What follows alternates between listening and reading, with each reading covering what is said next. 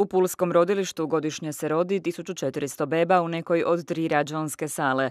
Dvije od njih već neko vrijeme, zahvaljujući Bina Istri, koriste dva nova rađanska stola.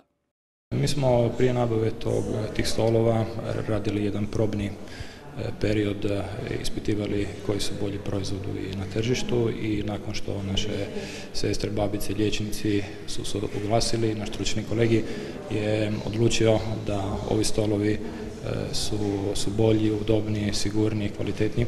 Nakon toga evo, donatori su nam baš te stolove i kupili. Ovi stolovi su sada praktički nekoliko mjeseci u upotrebi.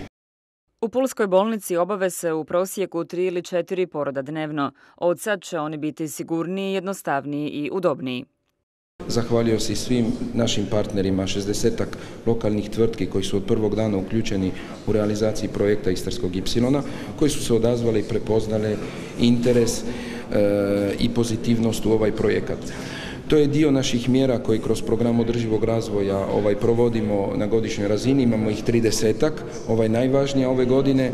Da bi bebe iz rodilišta sretno stigle do svojih domova, važna je sigurnost u prometu. Ona će na našem polotoku biti na višoj razini onda kada bude dovršena dionica Istarskog Y, Rogović i Tunelučka. Cijeli taj model sad je naravno na Digi Competitionu, dakle na vijeću Europske komisije koje treba dati svoju definitivnu odluku o modelu u kojem smo se mi usaglasili. Realno je za očekivati, reći ću još stotinjak dana da dobijemo definitivan odgovor pa ćemo onda znati konačno, konačnu varijantu.